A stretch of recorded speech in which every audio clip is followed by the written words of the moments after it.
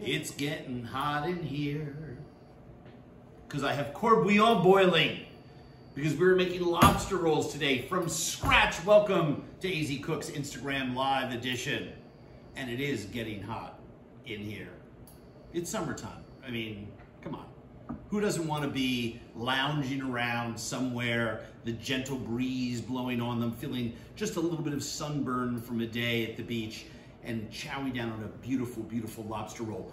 We are going to get to that. We're going to get to your questions. We're going to get to more conversation. Uh, some other things that are coming up this weekend, like the Emmys on Sunday. Congratulations to Intuitive Content. Uh, our production company was nominated for two Emmys uh, one for uh, Best uh, Travel Show uh, for Zimmern List, and I was nominated for Best Host, so we're really, really excited. Good luck to all of the people. They divided the, the daytime Emmys up into like a hundred different uh, nights this year, but you can just Google it. I think it's daytime Emmys.tv or some such thing. We'll post it in my social later on, so people who want to watch uh, can do so. I know the Emmys people would be thrilled. You'll see lots of your favorite uh, stars. I'm actually, there are presenters. I'm going to present three awards uh, this year, so it's going to be a lot of fun.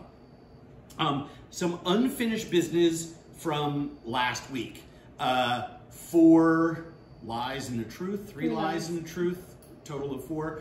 Uh, so a lot of people uh, guessed wrong. Um, the uh, I was a child star in New York at the Light Opera of Manhattan, a Gilbert and Sullivan repertory uh, company. Uh, I do collect 19th century maps and historical prints. I do collect uh, guitars and have some pretty cool ones in my collection, including one of Paul McCartney's and one of Walter Becker, the late guitarist from Steely Dan, who's uh, one of my favorite guitar players. Um, and while I have played uh, in some poker and blackjack tournaments. And while I love to play cards, and I love Vegas, and I love going to the casino a couple times a year, and I play cards with my friends, I am not a, uh, have never played in a professional tournament. That was a complete and total lie. So if you guessed that, you guessed uh, correctly. Um, let me get my lobster. This is a live lobster. Um, one and a quarter to one and a half pounds, Homarus americanus. Uh, this is what is typically referred to as the Maine lobster. Um, it is a beauty. Now, uh, lobsters have been enjoying a little bit of a uh, renaissance over the last uh, seven or eight years. Uh, we've seen incredible seasons. Um, and now, of course, uh, the basically the entire seafood industry uh, in America is shut down. Why? 75%, a little bit more than that, but 75% is a good number. 75% of all the seafood that comes to America, taken out of waters, you know, aquaculture and wild, what we take in and what we import is consumed in restaurants and a couple other places outside the home. Which means that while we love our seafood, because we're the fifth largest importer in the world of seafood, uh, we don't consume as much of it as we should for, for our health, for our well-being. And while uh, 15 years ago, lobster was very expensive relative to other things that come out of the ocean right now, there are tremendous deals on lobster.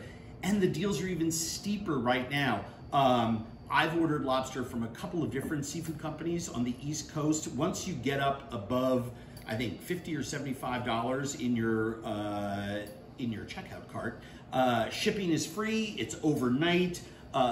Lobsters, bass, bluefish, mussels, clams, oysters, everything from the East Coast, you know, you name it, it's at a reduced price. So uh, please go and Google places and order seafood from the place that you feel good about doing it uh, from. And I don't mean to leave West Coast seafood people out of the picture too. Same thing on the West Coast. Um, from spot prawns to Dungeness crabs to, you know, uh, halibut, you name it, what comes out of the West Coast, absolutely phenomenal and should be supporting them uh, as well.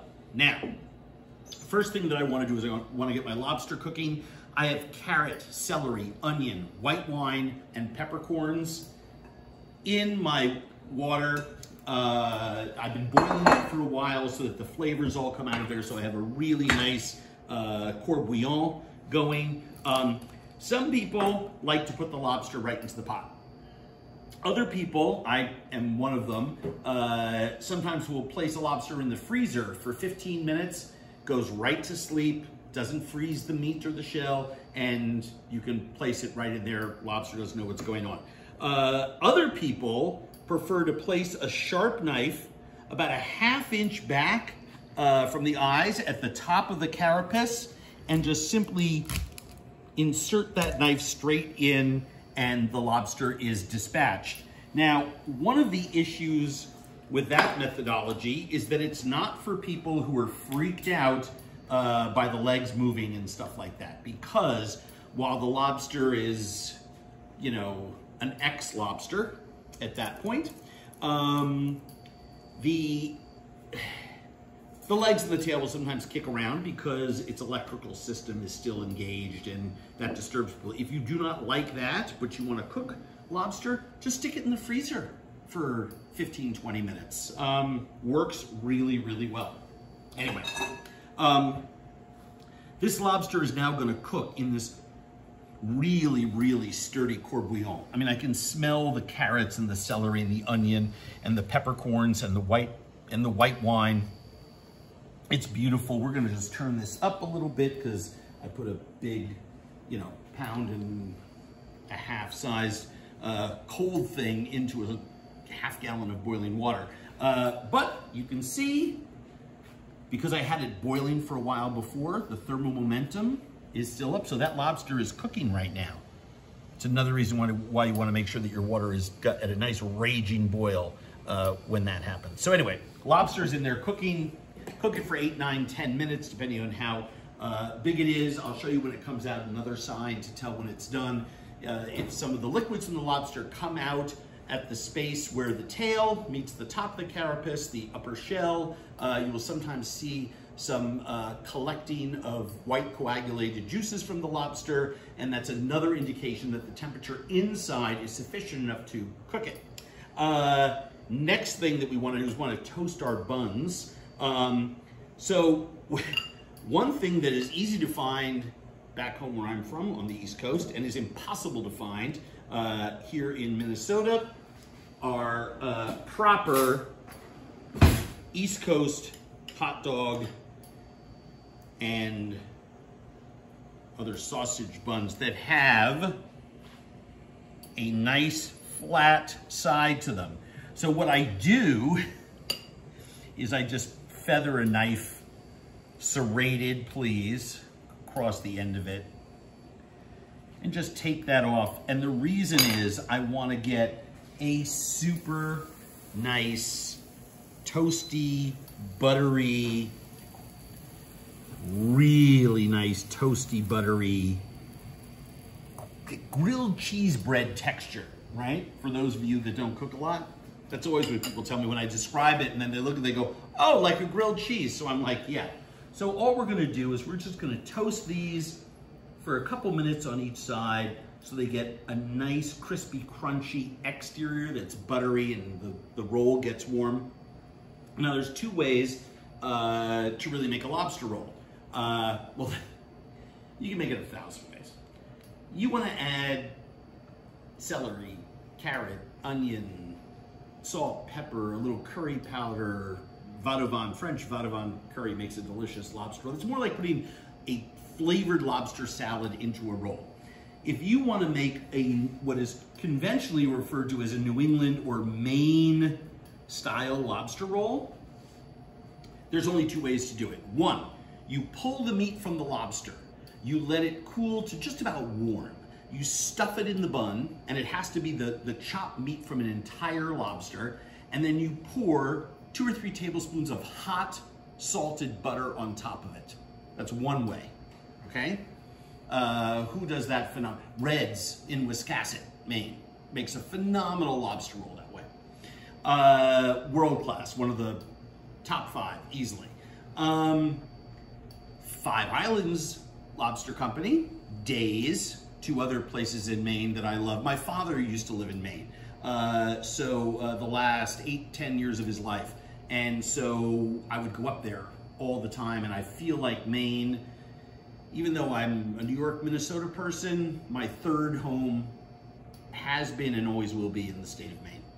Uh, so to everyone down east, love you. Uh, so one of the things that I want to do is um, tell you about the other way that these lobster rolls get made, which is, right, butter, hot butter, Reds and Wiscasset. A little bit of mayonnaise, period. Maybe some salt and pepper, right? A, a, teaspoon of celery or minced onion. I mean, just the barest amount just to pull out the flavor in the mayonnaise and accentuate what goes on the lobster. And by the way, there should be no mayonnaise. If you took all of the lobster salad that you make with the mayonnaise out of the bun, you shouldn't see any pooling up anywhere. Just enough to gloss it. Super, super, super important. so yeah. They're asking how long does a lobster cook for?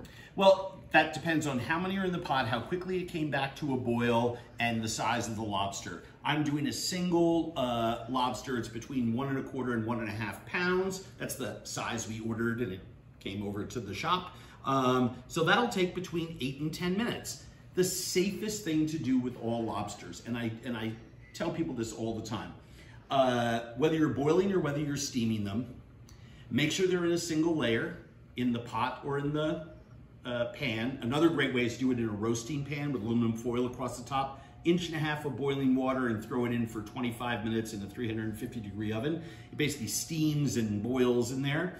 Um, but let it go for eight or 10 minutes, then just turn off the heat and let it sit in there like a tea bag for four or five more minutes so that heat penetrates the shell. Because one thing about lobster is that I can't have you take it out of the fridge and tell you to have it come to room temperature like a steak, right? Or even shrimp, right? Or chicken, so that it's cooking right away. So it always takes a while, right? And the interior of that lobster is uh, 34 degrees because it's been in the refrigerator uh, for a couple of hours here. So I want to look and see, let me see if I have a, my handy dandy tongs available anywhere. Boy, this is what I'm reduced to these days. Um, okay, so I can see here, do you see that coagulant? That little white stuff there? When I start to see it, that white coagulant come out here, I know that the inside of that lobster is cooked 100%. So I'm just gonna let that go for another minute or two, right? Um, but yeah, the, the tea bag methodology is foolproof because you're allowing it to come to a temperature where you know it's cooked or almost cooked and then it sits in the water. It's not gonna get waterlogged. The meat itself is already cooked. You just do that for four or five minutes, then let it rest room temperature, dry out a little. You're gonna be absolutely fine. Um, You're question. Get, you're getting a lot of hellos from Brazil, Greece, and Dominican Republic. And Oh. Matthew Jennings wants you to know that he's watching. Matthew Jennings, I dated him in high school. Uh, Chef Matt Jennings, uh, now living in Vermont with his lovely family and his incredibly talented wife, uh, Kate. And as I always like to remind people, whenever the subject of Matt Jennings comes up, this is one of the most awarded and highly regarded culinarians in the country. He's not even the best cook in his own house. That title would belong to his wife, Kate, who has got serious chops, but doesn't feel the need to tell everyone about it. Can you? I oh, kid, I kid him because he's one of my best friends. Continue. Can you overcook a lobster? Yes, you can overcook anything, especially in water. You know, it's a great question. Many people think that like because pot roast is cooked in, you know, braised or whatever, or brisket or lobster is boiled or steamed, that you can't overcook it. Oh my God. It is one of the easiest things to overcook. How many times have you had a pot roast or brisket that's just like dry and you can barely chew, chew through it? The same thing with lobster. Matt says you love Kate more than he does. It's not. That's not that's not true. That that woman I know. Don't make me embarrass you because you've told me how much you love your wife. Do not. There's there's like 50,000 people watching and another million will see this over the next week. Do you really want to have that conversation now, my friend? Because I'll have it. I'll have it. No one loves your wife more than you do, and, and as it should be. Although there are legions of us who are big fans of hers. Okay. Now, literally in the last 60 seconds, you could start to see some of the coagulants come out of the lobster. And I am just going to plunge this right now into a bowl of ice and water. And I'm gonna turn off the heat on, ooh, one of my shells came off. Let's put that in. Now, why do I do this? Well, first of all, if I have the time, I would do my boiling and resting the day beforehand, put the lobsters in a plastic bag once they're room temperature in the refrigerator, let them chill, and then go through my whole cracking process to extract the meat. Um, but I'm gonna show you how to do it now. And kind of like um, dealing with a roast turkey or a roast chicken, if I start doing it right away when it comes out of the oven, the outside of it is so hot that I'm gonna do all that sort of like owie owie thing on TV, and I really don't wanna do that. Um, the whole point of this is for me to show you how to do it. So, you know, two minutes in there while I get a plate for our lobster rolls, and uh, it'll be cooled sufficiently for me to hold the shell and extract the meat, right? So let me get a plate. Give me one sec.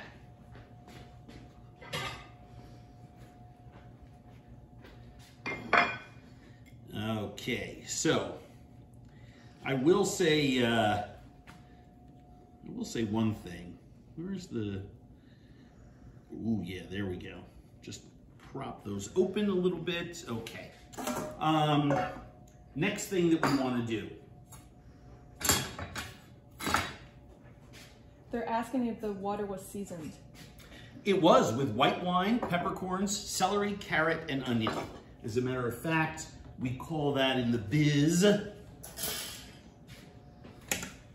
court bouillon once it's all thrown together. But there's all of that delicious veg. Now, you can taste the white wine and all those vegetables and peppercorns in the lobster meat. If you have a lobster that you just steam in plain water versus one that you maybe poach in a court bouillon, you are going to taste that, that court bouillon in the lobster meat, guaranteed.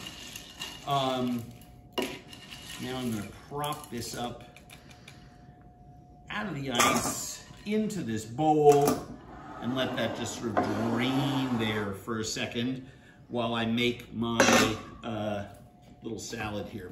Um, now, I happen to be a huge lover of celery. Anyone who's watched uh, episodes of AZ Cooks or any of my cooking classes or looked at recipes online and I love the leaves.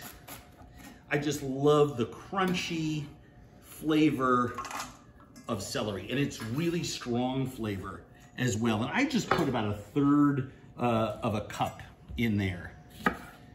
I put a squeeze and I mean, it was like quarter teaspoon, maybe a half teaspoon of lemon juice. I am going to put,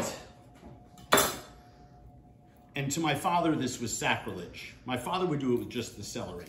I have found in my home that just a little bit of minced onion, like a tablespoon or so, sometimes I'll do a shallot if I don't want to do a whole onion, but I'm gonna be cooking later on. So it's okay if I mince up an onion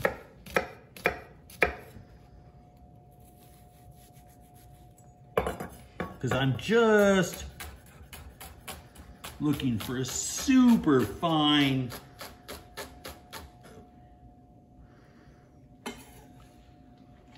healthy tablespoon of onion. Now we are making lobster salad, so a little bit of salt in there. And most importantly, because nothing goes better with mayonnaise and shellfish than black pepper. I just love the flavor of mayonnaise, black pepper, and shellfish. In fact, there's a hot mayonnaise and black pepper sauce for shrimp that comes off the grill that I am absolutely nuts about. Maybe we should do that in a couple of weeks here. Um, all right, so first thing that we want to do, take our claws off. Next thing that we want, the reason we want those off is that we don't like cut ourselves or nick ourselves on the shell because our next move is going to be to separate the tail from the head, and we just do that by gently twisting.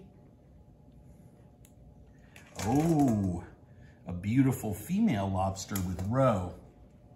And look at this, see, this is, this is why I should have rested. The meat is perfectly cooked, but the lobster coral would be red, but it's not, it's black. But that's fine, because what I'm gonna do is I'm gonna save that. What happens if you unshell it and then it's undercooked? Oh, if it's under, you can just throw it into a warm oven, you know, steam it for another minute or two. Don't microwave it. Put it in a 250 degree oven for five, seven uh, minutes. This is really a very, very simple issue. Uh, can you grab me a uh, bowl? Well, actually, I don't need one. I've got a big one right here. I'm going to save the uh,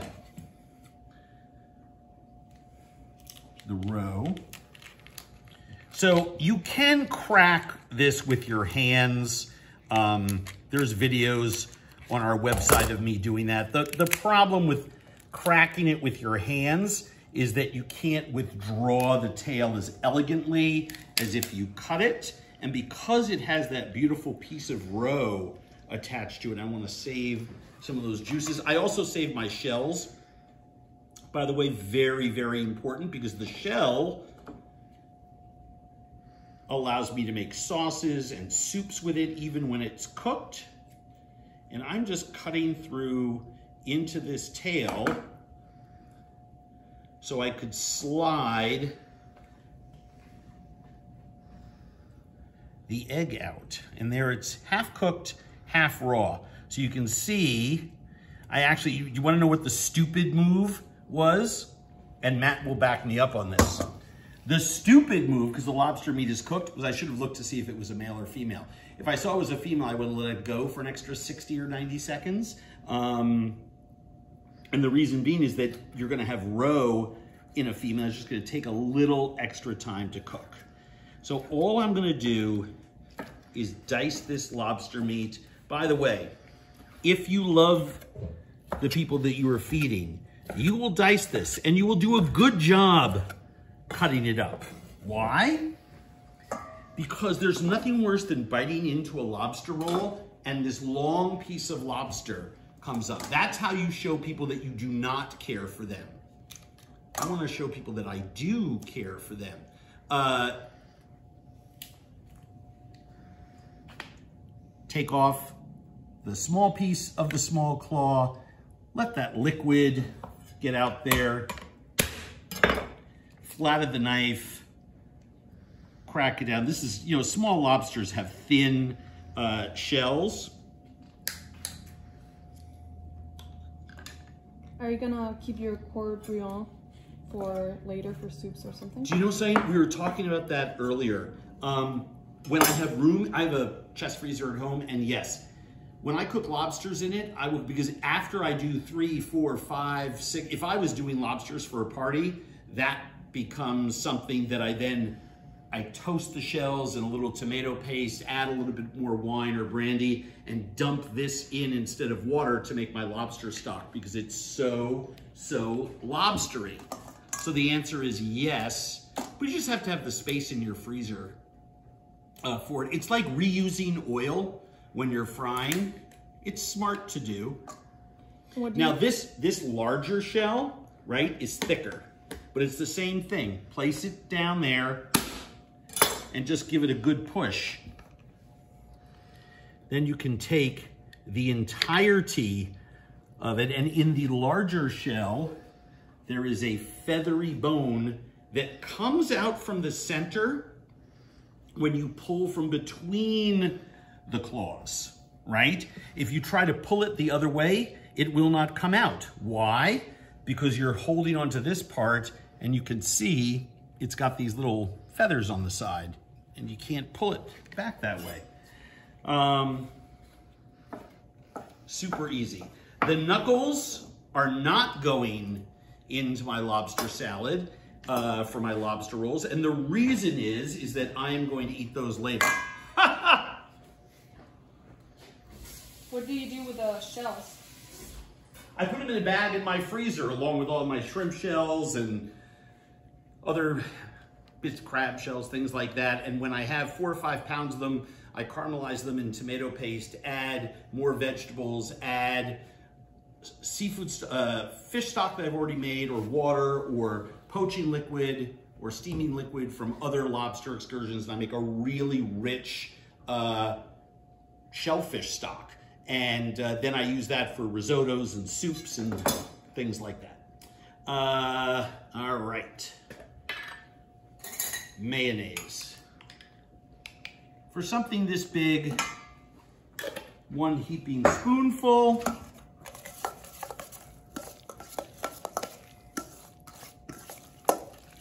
And combine. Mm.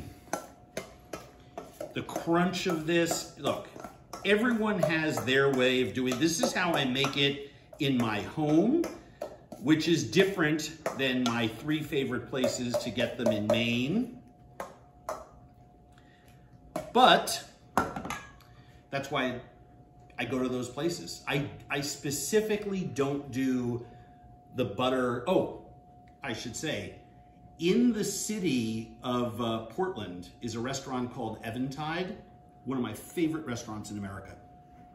And at Eventide, they serve their lobster rolls small in a uh, steamed uh, Chinese bun uh, that they make themselves from scratch. And they cook the lobster in brown butter and then pour brown butter over the top, period, which is a nice uh, twist to it. And for I know there's people uh, watching who have uh, dined at Eventide. Is that your most memorable rest like restaurant where you had a lobster roll? No, I mean my. I, I have to say I'm I'm really lucky. You know, I grew up on the East Coast. Um, there was a place growing up on Montauk Highway called Lunch, the Lobster Roll. That was its name. Uh, had a big sign that said Lunch. Um, back in the 60s, uh, my, uh, my mom and her friend, Ellen, would take myself when we were very young and Ellen's son David and his sister Elizabeth to lunch the lobster in the middle of the week while the dads were working in New York. They'd come out on the train on Fridays and uh, that would be um, a regular place for me. And I don't consider it to be the best lobster roll that I've ever had. Uh, and certainly these days it's more of a commercial spot. Uh, they still have a good lobster roll, uh, but it is not the the quality there. It's the memory and the feeling of those days. So there you have it. Simple, easy. Make it however you want it, but I'm telling you right now, this baby right here is a really nice lobster roll. Uh, questions, comments, criticisms, we have a couple of minutes. Do you prefer cold or hot lobster roll? Both. And this is this is a true story, by the way. I will eat multiple lobster rolls a day when I'm in Maine. Um, I will drive up to Reds in Wiscasset. I will eat a lobster roll, a couple of little goodies, shop around the town, maybe do some things on the way back, stop at a swimming hole, stop in a little harbor, jump off the end of a dock, cool off, and then have stop at Five Islands or days on the way back into Portland have a lobster roll, steamers, corn, just to put the whole feed bag on one more time. Could you do this recipe with shrimp? Mmm. Mm-hmm. Matt says he approves. Here's the deal. when you're up in Maine, New, any of the coastal communities from Boston north, every crab shack, lobster shack, clam shack that you stop at has a lobster roll, a clam roll, a crab roll. There's, you can do this with crab meat, you can do this with shrimp, you can do it with leftover salmon comes off the grill. It's a great way to make a little quick sandwich. There is something about a lobster roll that is just elegant and decadent and just hits all the right buttons. What's your favorite side dish for this? Chips, fries, cheese curds? Not cheese curds. Um, well, I mean, you, you're you're in New England, so uh, fries or potato chips would be apropos. Um, however, my favorite side dish to uh, a pair of small lobster rolls or a big lobster roll is a two pound bag of steamers and a half cup of drawn butter. What are the best summer dishes? Hmm.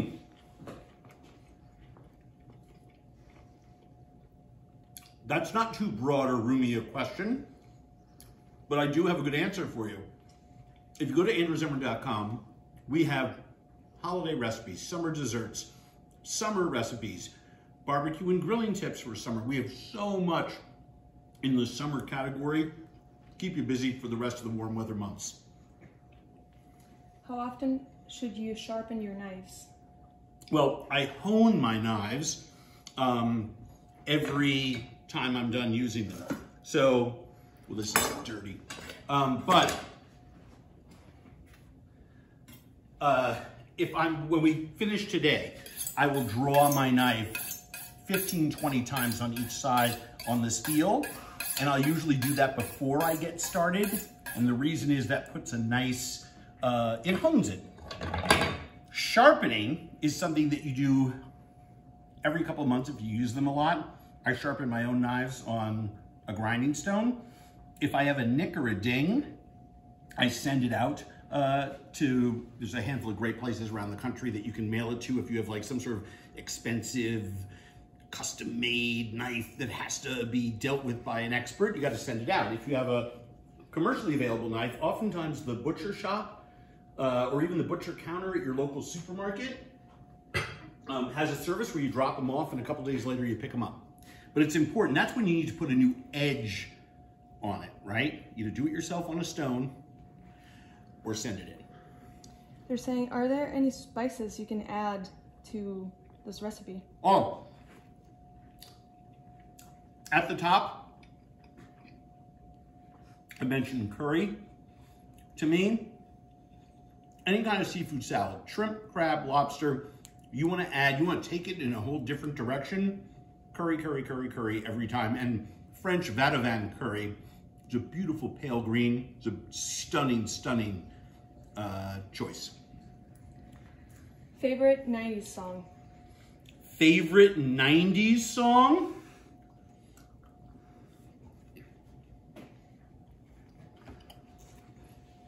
Hard for me to remember that decade.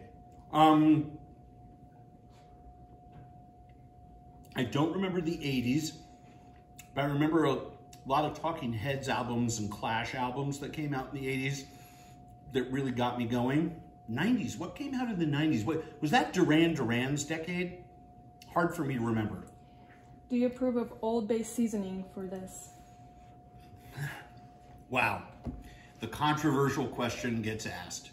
Um, if you're out on the Eastern Shore in Maryland, everything gets hit with Old Bay, either in the water or sachet or seasoned afterwards, or put in the mayonnaise or sandwich if you were down in Cajun country, uh, and really now Cajun country has expanded. I mean, it's now not just central Louisiana. I mean, it is down to New Orleans. It is all the way down into Houston, Texas, and all the way across into uh, uh, Alabama and Mississippi and through the Florida Panhandle. Everyone loves Cajun food. And so you will get uh, Zatarain's most famous brand, crab boil, shrimp boil, seafood boil in everything. Both of those things take your seafood into a flavor direction that it can't pull away from. It's delicious. I love it. There are tons of recipes that I make all the time when I'm doing a big shrimp boil. uh, with sausage and potatoes and corn at the end of the summer. When I'm doing um, a uh, crawfish boil or something, it has to have those flavors. When I'm doing uh, hard shell blue crabs uh, for friends and we're hammering them at the picnic table, of course I throw Old Bay in, but not for this. Doesn't mean it's not delicious. Uh, we are out of time. I cannot wait uh, to speak with you. Oh, next week, uh, I will uh, not be here. Um, we are taking the week off for uh, a holiday. We will be back the following Thursday with AZ Cooks live on Instagram and YouTube. Um, Vicki, why don't we post a classic AZ Cooks recipe video next Thursday. We'll find a classic from the archives. We have hundreds of them, and we'll put that out next Thursday. So those of you have uh, a desire to see something that's summery, we'll put that out for you. Uh, stay close to my social. We'll put out info about the Emmy Awards on Sunday night. Is there anything that I am forgetting? I think that's it. Thank you, everyone. Have a great rest of your day.